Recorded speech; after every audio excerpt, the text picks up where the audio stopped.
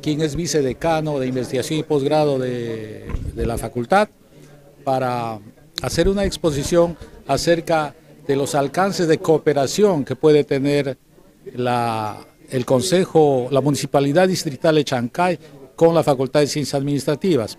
Esta no es la primera vez que venimos, es la tercera vez ya para ir concretando algunos acuerdos de cooperación específicos. Para comenzar, eh, San Marcos está viendo con mucha atención el desarrollo del proyecto Puerto Chancay. Eh, el horizonte que tiene de ejecución es muy corto, queda muy poco tiempo. Literalmente dos, algo más de dos años para tener todo preparado para que esto funcione. Entonces, pensando en la proyección de largo plazo, la Universidad Nacional Mayor de San Marcos ha tomado la decisión de abrir tres secciones de la Facultad de Ciencias Administrativas en Chancay.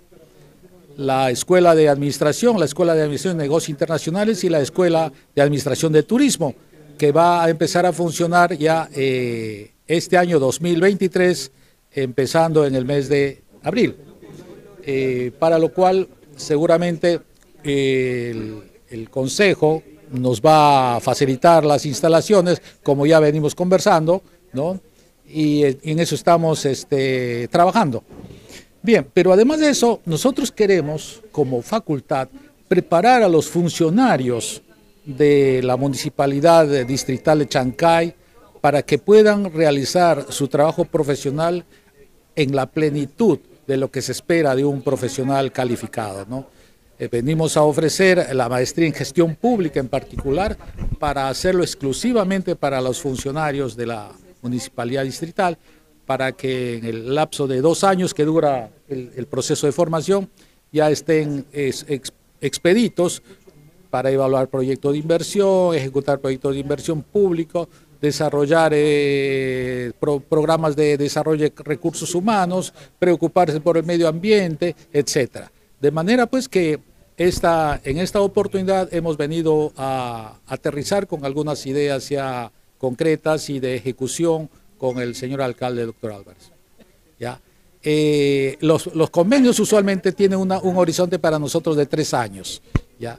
Eh, y en eso esperamos, repito, eh, incorporar formación de posgrado, sobre todo formación tecnológica para los estudiantes, de, para la juventud chancaína, y, chancayana, perdón, y la, ah, el desarrollo de proyectos de digamos, de desarrollo regional que tengan que ver no solamente con el desarrollo socioeconómico, sino con el desarrollo también social, turístico y ecológico, que es un componente importante ahora del, desarrollo de los países. ¿no?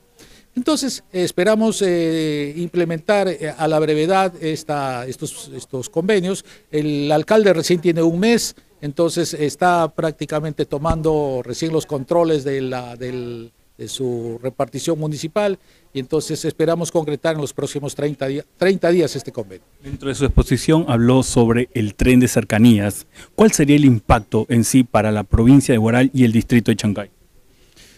Bueno, el impacto de ese tren de cercanías va a ser eh, abrumador.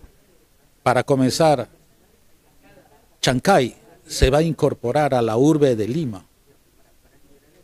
Es como una galaxia que crece entonces, eh, Chancay, Lima, no solamente va a terminar ahora, que, sería ahora Ventanilla, sino va a pasar Ancón y toda esta zona que es este, la variante, ¿cómo se llama la variante de?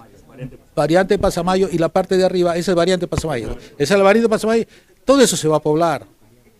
Todo eso se va a poblar y va a llegar hasta Chancay, el, digamos el norte de Lima lo que el norte de Lima ahora es Puente Piedra, se va a convertir en Chancay. Entonces, en ese horizonte, al crecer la ciudad, la ciudad de Lima, de tener 11 millones de habitantes, probablemente en 10 años pueda llegar a tener 14, 15 millones de habitantes.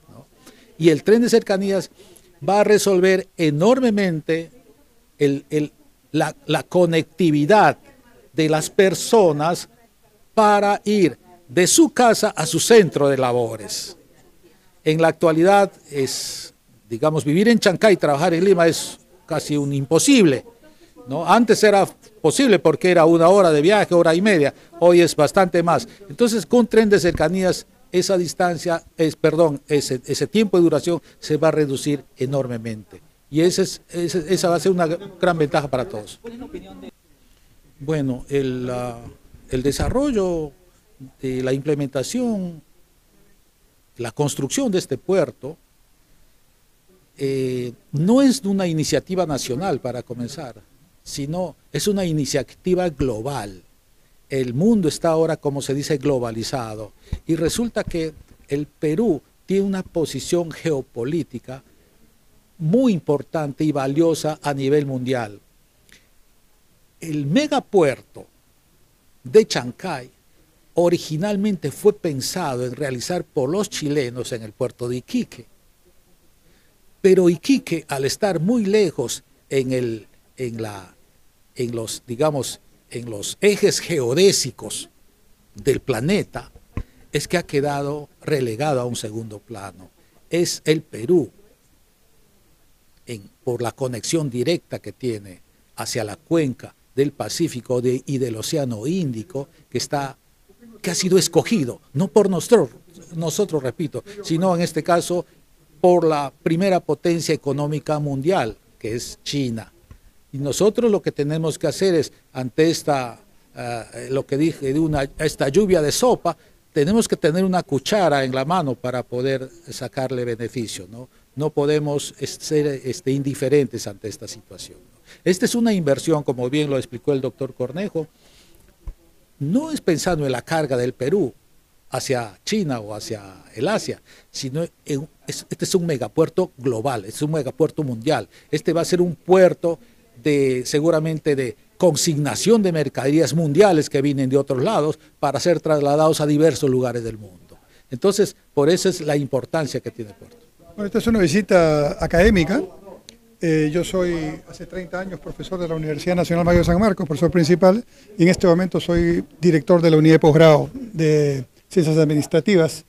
Y he venido con el señor decano de la Facultad de Ciencias Administrativas de San Marcos para ofrecerle algo que ya está, estamos conversando con el señor alcalde, un acompañamiento en este diseño de esta estrategia para que Chancay se convierta en una ciudad puerto eficiente y que lo que signifique la infraestructura portuaria del puerto de Chancay y todo lo que eso significa sea para bienestar de los habitantes de Chancay, para que el, digamos, la ciudad crezca sostenible, armónicamente, y esa infraestructura haga su trabajo portuario, pero sobre todo aquí se gane. Y eso se tiene la experiencia, se tienen los casos que no funcionaron tan bien, y aquí estamos empezando primero una gestión del señor alcalde y también estamos en un proceso todavía preoperativo del puerto, así que estamos en el momento ideal para este, para este tema. El impacto económico, el impacto social de este megapuerto, tanto para eh, la provincia de Guaral y el distrito de Chancay.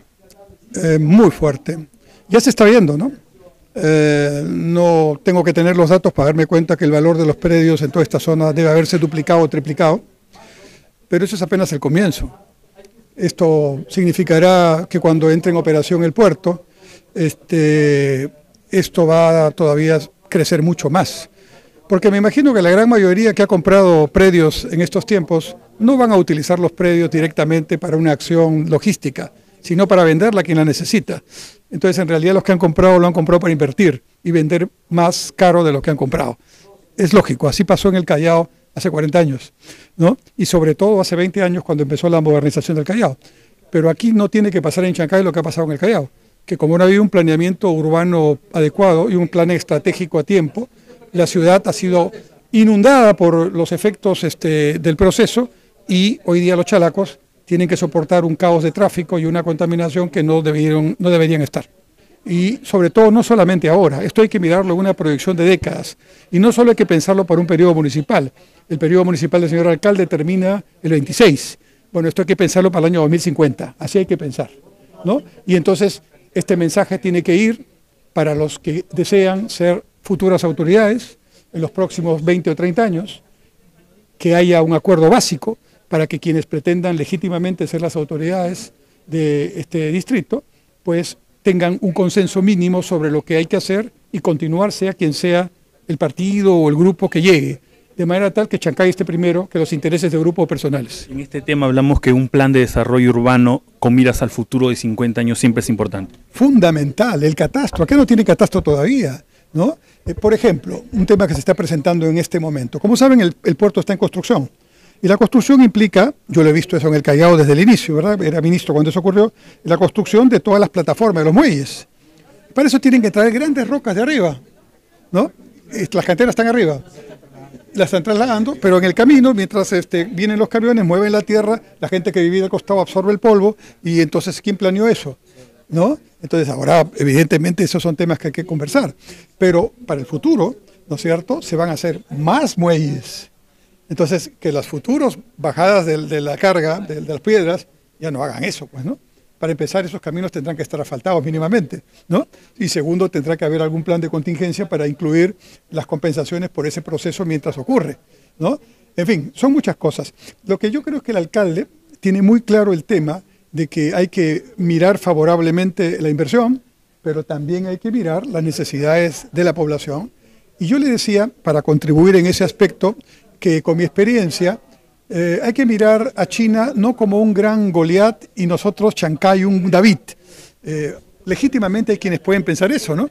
Este grandazo va a venir y nos va a absorber completamente. Bueno, recurriendo a la historia bíblica, en este caso David no necesitará una onda para este, solucionar el problema, sino que tendrá su plan estratégico, su autoridad y ojalá un consenso entre los habitantes de Chancay para sentarse de igual a igual con China y decirles, ustedes tienen su plan, bienvenidos, ¿no? Pero sabemos que lo que ustedes quieren hacer aquí no es solamente el negocio entre Perú y China. Este puerto está diseñado para ser parte de un hub mundial que se llama la nueva ruta de la seda china, donde la infraestructura donde China invierte en todo el mundo contribuye a las rutas comerciales, en este caso no con Chancay, no con Perú, sino con toda América del Sur, del lado Pacífico. Este va a ser el hub regional de América del Sur para el comercio entre China y Asia y la zona del Índico y América del Sur es decir, incluyendo la parte del Atlántico. O sea, después lo que se viene aquí es un tren. Me estoy adelantando, pero eso es lo que se viene. En los próximos 50 años tengan la seguridad que va a haber un tren que conecta con Brasil. ¿Qué es lo que falta? Ahora, este me... y permíteme otra idea más que les dejo para que la piensen. No hay que mirar Chancay solamente. Callao se ha enojado o se ha puesto preocupado, ¿verdad? Estamos haciendo un, un juego de pigmeos.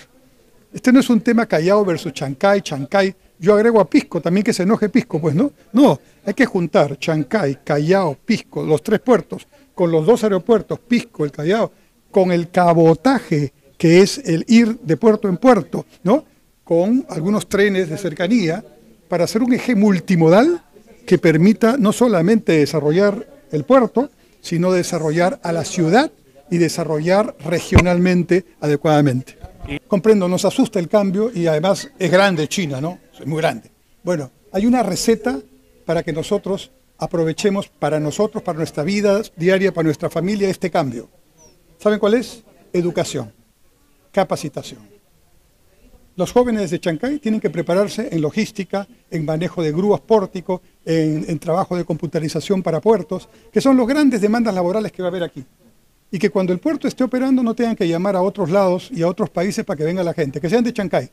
¿Tenemos tiempo? Sí, tenemos dos años para hacerlo. Y estamos aquí como San Marcos para ayudar al distrito de Chancay en esa capacitación.